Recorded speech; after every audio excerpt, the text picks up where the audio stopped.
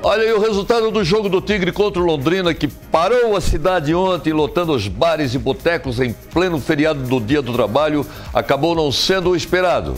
Uma penalidade inexistente anotada pelo árbitro da partida impediu o Criciúma de chegar hoje à cidade com os três pontos na bagagem.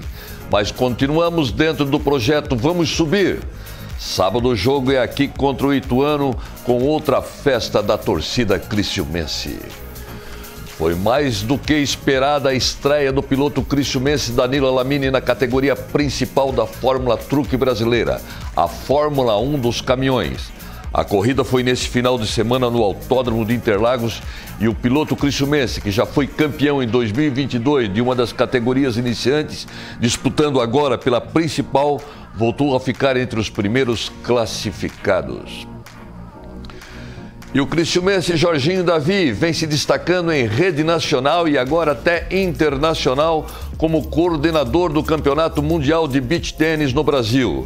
Etapa que encerrou nesse fim de semana em Balneário Camboriú, reunindo atletas de vários países ao redor do mundo. A competição mundial em Camboriú foi a mesma que rolou ano passado no Rincão, onde tudo começou. Cristiumenses, que não são poucos e sim milhares, não responderam ao chamado dos organizadores para uma manifestação pública na manhã de ontem, feriado do Dia do Trabalho, na Rua da Gente, ali no lado do Parque das Nações. O evento preparado para receber milhares de pessoas acabou reunindo apenas um pequeno público, não passando mais de, que 500, de 50 pessoas que se aventuraram em encarar um sol forte e muito calor para cantar o hino nacional e ouvir discurso contra o Lula e a Janja. Empresário Eduardo Polenta Rosso e a namorada Lise Tuon aproveitaram o veranico de outono no feriado de ontem com aquele mar de almirante do Rincão para uma pescaria romântica que acabou rendendo algumas dúzias de papaterra para o jantar de hoje com os amigos.